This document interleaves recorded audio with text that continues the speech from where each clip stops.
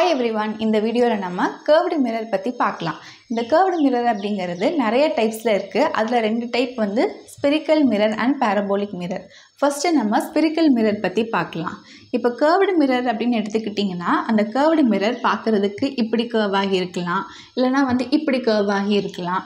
So இந்த curved மிரருடைய reflecting surface அப்படிங்கிறது is consider to form a part of sphere surface இப்போ curved மிரருடைய ரிஃப்ளெக்டிங் சர்ஃபேஸ் அப்படிங்கிறப்போ எந்த இடத்துல அந்த லைட் ரேஸ் பட்டு ரிஃப்ளெக்ட் ஆகுதோ அதைத்தான் நம்ம ரிஃப்ளெக்டிங் சர்ஃபேஸ்ன்னு சொல்கிறோம் இப்போ இந்த இடத்துல வந்து லைட் ரேஸ் பட்டு ரிஃப்ளெக்ட் ஆச்சு அப்படின்னா இப்போ இந்த கேர்வ்டு மிரருடைய இந்த பார்ட் வந்து ரிஃப்ளெக்டிங் சர்ஃபேஸாக இருக்குது இப்போ இந்த கேர்வ்டு மிரர் வந்து பார்த்திங்கன்னா லைட் ரேஸ் வந்து இப்படி பட்டு ரிஃப்ளெக்ட் ஆச்சு அப்படிங்கிறப்போ அப்போ இந்த இடம் வந்து ரிஃப்ளெக்டிங் சர்ஃபேஸாக இருக்குது இந்த ரிஃப்ளெக்டிங் சர்ஃபேஸ் அப்படிங்கிறது இந்த ஸ்பியரோட சர்ஃபேஸில் ஒரு பார்ட்டாக வந்து இருக்குது அதே மாதிரி இங்கேயும் ஸ்பியரோட சர்ஃபேஸில் ஒரு பார்ட்டாக வந்து இந்த reflecting surface of a curved mirror வந்து இருக்குது so search a mirror whose reflecting surfaces are spherical that we call it as a spherical mirror சில ஸ்பிரிக்கல் மிரர் பார்த்தீங்க அப்படின்னா அந்த ரிஃப்ளெக்டிங் சர்ஃபேஸ் வந்து கேர்வ்டு இன்வர்ட்ஸாக இருக்கும். தட் மீன்ஸ் ஸோ இப்படி இருக்கும்போது அந்த மிரர் ரிஃப்ளெக்டிங் சர்ஃபேஸ் வந்து இன்வேர்டாக இருக்கும். அதாவது இன்வேர்ட் மீன்ஸ் அந்த குழி இருக்கு இல்லையா? அந்த குழிக்குள்ளே அந்த ரிஃப்ளெக்டிங் சர்ஃபேஸ் அந்த லைட் வந்து பட்டு ரிஃப்ளெக்ட் ஆகிற மாதிரி இருக்கும்.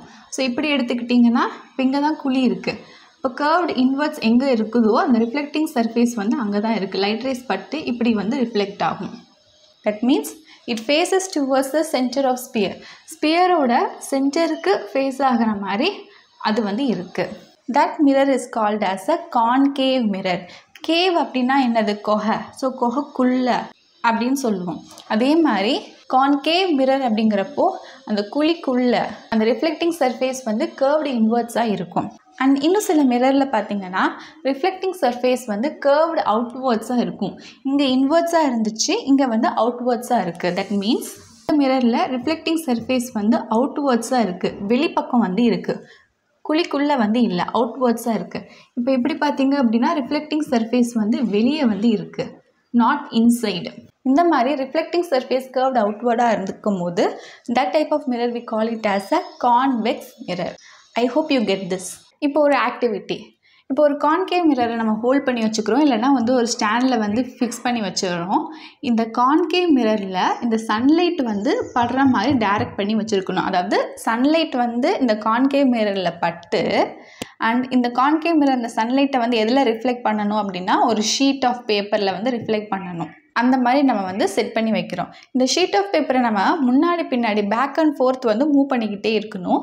எது வரைக்கும் அப்படின்னா until we find a bright sharp spot of light on the paper இந்த பேப்பர் மேலே ஒரு ஸ்பாட் ஆஃப் லைட் வந்து வர மாதிரி பிரைட்டாக ஒரு லைட் வர மாதிரி. எப்போ வருதோ அப்போ வந்து அந்த மிரரையும் அந்த பேப்பரையும் ஒரே பொசிஷனில் வச்சுருக்கோம். அந்த சேம் லொக்கேஷனில் அப்படியே வச்சுருக்கோம் ஃபார் ஃபியூ மொமெண்ட்ஸ் நம்ம என்ன அப்சர்வ் பண்ணுவோம்? பேப்பர் வந்து ஃபயரை வந்து கேட்ச் பண்ணுற மாதிரி. ஏன் வந்து ஃபயர் கேட்ச் ஆகுது அப்படின்னா இங்கே நம்ம யூஸ் பண்ணக்கூடியது கான்கேவ் மிரர் அப்போது சன்லைட்டோடைய ரேஸ் வந்து இந்த கான்கேவ் மிரரில் பட்டு இந்த கான்கேவ் மிரர் வந்து என்ன பண்ணிடுதுன்னா அந்த ரேஸ் எல்லாத்தையுமே வந்து இந்த பேப்பரில் ஒரு ஒரு பாயிண்டில் எல்லாத்தையுமே வந்து ஃபோக்கஸ் பண்ணிடுது ஸோ ஒரு பாயிண்டில் அந்த ரேஸ் எல்லாமே ஃபோக்கஸ் ஆன உடனே அந்த ஷீட் வந்து சடனாக ஃபயர் வந்து கேட்ச் பண்ணிடுது next image form by a spherical mirror பற்றி பார்க்கலாம். இப்போ ஒரு கான்கேவ் மிரர் எடுத்துக்கிட்டு அந்த கான்கேவ் மிரருக்கு இன் ஃப்ரண்ட்டில் ஒரு கேண்டலை லைட் பண்ணி வைக்கிறோம். அண்ட் ஒரு ஒயிட் ஸ்க்ரீனை வந்து ப்ளேஸ் பண்ணுறோம் இப்போது இந்த ஸ்க்ரீனோட பொசிஷனை வந்து அட்ஜஸ்ட் பண்ணுறோம் எப்படின்னா ஃப்ரண்ட் அண்ட் பேக் வந்து மூவ் பண்ணும்போது நமக்கு இந்த கேண்டலோட இமேஜ் வந்து ஸ்க்ரீனில் தெரியும். அதோட சைஸ் வந்து எப்படி இருக்குது இமேஜோட சைஸ் எப்படி தெரியுது?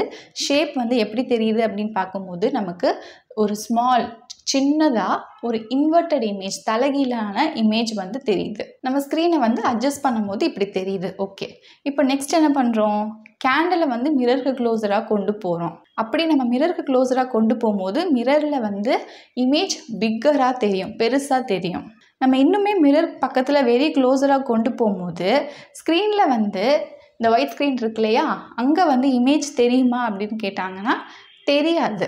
இப்போது நம்ம மிரருக்கு இன்சைடில் வந்து பார்க்குறோம். கேண்டிலை வந்து க்ளோஸராக கொண்டு போகும்போது ஸ்க்ரீனில் தெரியாது. ஆனால் மிரருக்கு இன்சைடில் பார்க்கும்போது நமக்கு ஒரு எரெக்டான magnified image of the candle வந்து தெரியுது. நெக்ஸ்ட் என்ன பண்ணுறோன்னா இந்த ஆப்ஜெக்டான கேண்டிலை வந்து இந்த பொசிஷன்லேயோ இந்த பொசிஷன்லேயோ இங்கிட்டோ வேறு ஏதாச்சும் பொசிஷனில் நம்ம மூவ் பண்ணிக்கும் போது ஸ்க்ரீனில் இப்போது இதோடைய இமேஜ் வந்து நமக்கு தெரியுது. இந்த கேண்டிலோடைய இமேஜ் ரொம்ப க்ளோஸராக போனால் மட்டும்தான் மிரருக்கு பக்கத்தில் இந்த ஒயிட் ஸ்க்ரீனில் இமேஜ் தெரியல. பட் ஆனால் வேறு ஏதாச்சும் பொசிஷனில் வைக்கும் போது தெரியுது இந்த இமேஜ் வந்து. அண்ட் இப்போ கேண்டலான ஆப்ஜெக்டோடைய பொசிஷனை வேறு ஏதாச்சும் இடத்துல வச்சோம் அப்படின்னா எந்த ஒரு இமேஜுமே வந்து அப்டேட் ஆகாது. அப்போ இதுலேருந்து என்ன புரியுது அப்படின்னா கான்கேவ் மிரருடைய பிஹேவியர் வந்து ரொம்ப காம்ப்ளிகேட்டடாக இருக்குது பிளெயின் மிரரை விட அப்படின்னு தெரியுது. So with the use of a geometrical technique, we can able to simplify and we can able to understand the behavior of the image formed by a concave mirror. இப்போ plain மிரர்னு எடுத்துக்கிட்டோம் அப்படின்னா அதில் நம்ம ரெண்டு ரே மட்டும்தான் use பண்ணுறோம் to understand how to get a full image of a person ஒரு பிளெயின் மிரருக்கு முன்னாடி ஒரு பர்சன் நிற்கிறாங்க அப்படின்னா அந்த ரெண்டு ரே வச்சு நம்ம வந்து ஈஸியாக சொல்லிடலாம் எப்படி இமேஜ் வந்து பிளெயின் மிரரில் ஃபார்ம் ஆகுது அப்படின்ட்டு பட் ஆனால் கான்கேவ்லருக்கு அப்படி கிடையாது. நம்ம அதுக்கு என்ன பண்ணணும் அப்படின்னா to understand the nature of image form by a spherical mirror we need to look at the four specific rules அந்த ரூல்ஸ் என்னென்ன அப்படின்னு இப்போ பார்க்கலாம். Now let say about the rules for the construction of image இப்போ நமக்கு spherical மிரரில் எப்படி வந்து அந்த இமேஜோடைய நேச்சர் அண்ட் பொசிஷன் வந்து இருக்குது அப்படின்னு ஃபைண்ட் அவுட் பண்ணுறதுக்கு நம்ம ஃபாலோயிங் ரூல்ஸை வந்து ஃபாலோ பண்ணணும். ரூல் நம்பர் ஒன் இப்போ இங்கே பார்த்தீங்க அப்படின்னா இந்த ஃபிகரில் இதுதான் வந்து கான்கேவ் மிரர் கான்கேவ் மிரர் அப்படின்னாலே வந்து கேவ் அப்படின்னாலே இன். அப்போ அந்த குழிக்குள்ளே அப்போ இந்த இதுதான் வந்து இன்வெர்ட்ஸாக இருக்குது அப்போ இன்வெர்ட்ஸாக இருக்கிறது வந்து ரிஃப்ளெக்டிங் சர்ஃபேஸ் ஏதாச்சும் ஒரு லைட் ரே வந்துச்சு அப்படின்னா அங்கே வந்து ரிஃப்ளெக்ட் ஆகும். இந்த இன்வெர்ட்ஸில் அதுதான் நம்ம வந்து கான்கேவ் மிரர் அப்படின்னு சொல்கிறோம் இப்போ இங்கே பார்த்தீங்க அப்படின்னா சிஎஃப் பி அப்படின்ட்டு சில டேர்ம்ஸ்லாம் வந்து இருக்குது இந்த எம் எம் டேஷ் அப்படிங்கிறது இந்த கான்கே மிரரை தான் குறிக்குது. இங்கே வந்து எம் இது வந்து எம் டேஷ் இந்த கான்கேவ் மிரருடைய ஜாமெட்ரிக் சென்டர் நடுப்பகுதி இருக்கு இல்லையா? அதை வந்து நம்ம பி அப்படின்னு போடுறோம். பி அப்படின்னா போல் அண்ட் இந்த கான்கேவ் மிரர் அப்படிங்கிறது ஒரு ஸ்பியரில் இருக்கக்கூடிய ஒரு பகுதி தான் வந்து இந்த கான்கேவ் மிரர் அப்போ அந்த ஸ்பியரோடைய சென்டர் தான் வந்து இந்த சென்டர் ஆஃப் கர்வேச்சர் இதை நம்ம கேபிட்டல் சி அப்படின்னு டினோட் பண்ணி போடுறோம். அண்ட் எஃப் அப்படிங்கிறது ஃபோக்கஸ் இந்த ஃபோக்கஸ் வந்து இந்த சென்டர் ஆஃப் கர்வேச்சருக்கும் இந்த பிரின்சிபல் ஆக்சஸுக்கும் நடுவில் வந்து வரக்கூடியதாக வந்து இந்த ஃபோக்கஸ் ஓகே இப்போ இந்த எந்த இந்த டேர்ம்லாம் என்னென்ன அப்படின்னு சொல்லி பார்த்தாச்சு.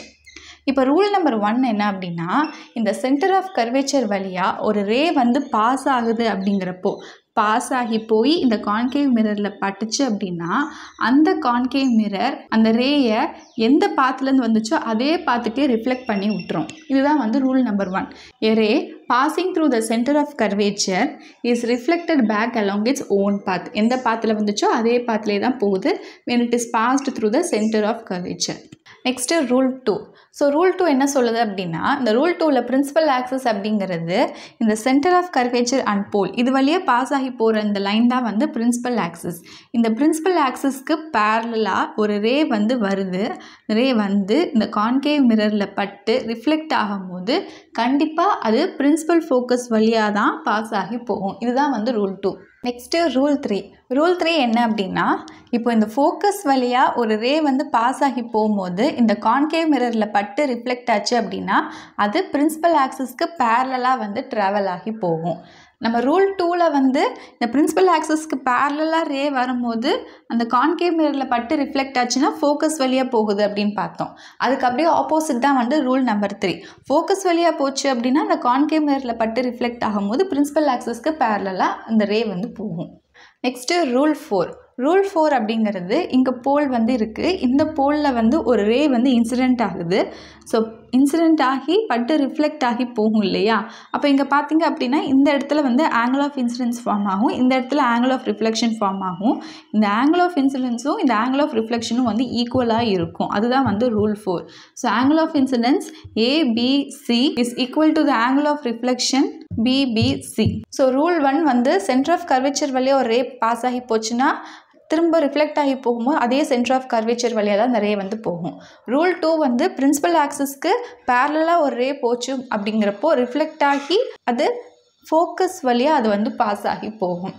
ரூல் த்ரீ வந்து இதே இது அது ஃபோக்கஸ் வழியாக தான் அந்த ரே வந்து போச்சு அப்படின்னா அது ரிஃப்ளெக்ட் ஆகி வரும்போது பிரின்சிபல் ஆக்சஸ்க்கு பேரலாக வந்து போகும் இது ரூல் த்ரீ ரூல் ஃபோர் வந்து இப்போ இந்த போலில் ஒரு ரே வந்து இன்சிடென்ட் ஆகி ரிஃப்ளெக்ட் ஆகும்போது ஒரு பாத்தில் இந்த ஆங்கிள் ஆஃப் இன்சிடென்ஸும் இந்த ஆங்கிள் ஆஃப் ரிஃப்ளெக்ஷனும் வந்து ஈக்குவலாக இருக்கும்.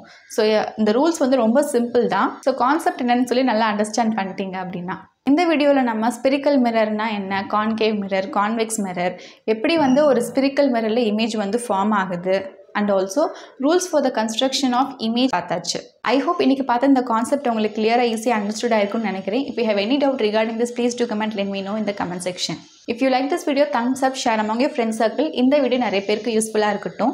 நீங்கள் இந்த சேனலுக்கு புதுசு சயின்ஸை பற்றி ஈஸியாக தமிழில் அண்டர்ஸ்டாண்ட் பண்ணி லேர்ன் பண்ண நினச்சிங்க அப்படின்னா இந்த சேனல் உங்களுக்கு ரொம்பவே யூஸ்ஃபுல்லாக இருக்கும். நான் என்னோட சேனலில் ஃபிசிக்ஸ் பயாலஜி கெமிஸ்ட்ரின்னு எல்லா கான்செப்ட்டும் கவர் ஆகிற மாதிரி ஸ்டாண்டர்ட் சிக்ஸ்லேருந்து ஸ்டாண்டர்ட் எயிட் வரைக்கும் எல்லா யூனிட் கம்ப்ளீட் பண்ணிவிட்டு இந்த இயர் நான் ஸ்டாண்டர்ட் நைனோட ஃபர்ஸ்ட் டைம் முடிச்சுட்டு செகண்ட் டைம் வந்து போஸ்ட் பண்ணிக்கிட்டே வரேன். இது வரைக்கும் போஸ்ட் பண்ண வீடியோஸ் எல்லாம் பார்க்கணும்னு நினச்சிங்கன்னா you can go to my playlist and check there. Don't forget to subscribe my channel and click the notification bell button to get the latest upcoming videos. See you soon again next video. Thank you for watching.